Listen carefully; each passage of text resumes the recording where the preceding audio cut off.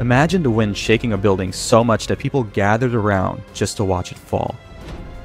Now take that same situation and picture the architect climbing to the very top during a windstorm.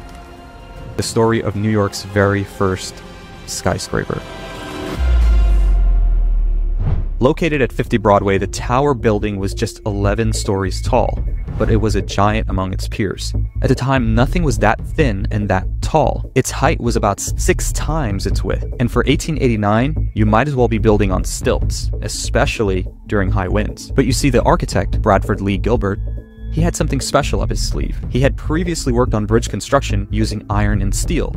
And so when they asked him to build an 11 story building on about a 20 foot plot of land, he decided to do something different. You see, the traditional load-bearing masonry walls would take up too much interior space in the building. You basically have no rooms left for rooms. So for Gilbert, thin steel beams were his only option. He figured he'd turn the railroad bridge on its end and use iron girders to support the floors and the external walls. So he ran his foundations deep into the ground and extended them all the way up to the 11th floor. But to be honest, most people were skeptical. Even his own architect friends thought he was crazy. Their biggest critique was that the building would just sway too much during a windstorm, and that swaying would eventually cause the support to give out, leading to an eventual collapse. And that's where Gilbert got clever. Once the building was finished, he took a plumb line, and during the craziest windstorm of the year, he climbed to the very top. People gathered around thinking he was about to go down with the building, but Gilbert had engineered this publicity stunt.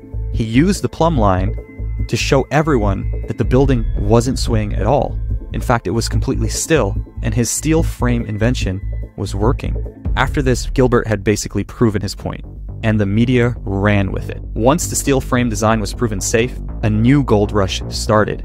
Literally everyone began building up. The tower building had inadvertently kicked off what is now known as the New York City skyscraper boom, and it was the first domino in reshaping the city's skyline. Every rich person started building their own building project.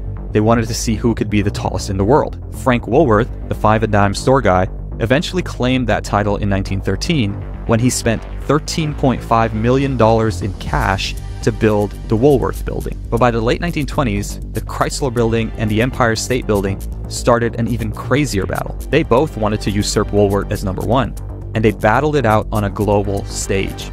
For about 11 months, the Chrysler Building had won the title. And then, after they finished the Empire State Building, they attached the spire to the top, and it won by 204 feet. The rest is history. From that moment on, New York became synonymous with the Empire State, and the skyscraper boom had given New York a completely different feeling to the rest of the world. It made people believe that this was the place where dreams became reality, where we were always pushing higher and higher.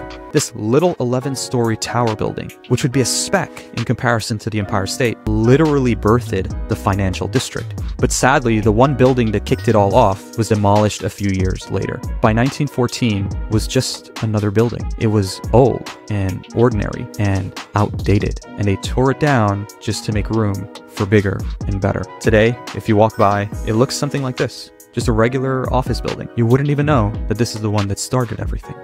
It's the reason we have a forest of giants in Manhattan today.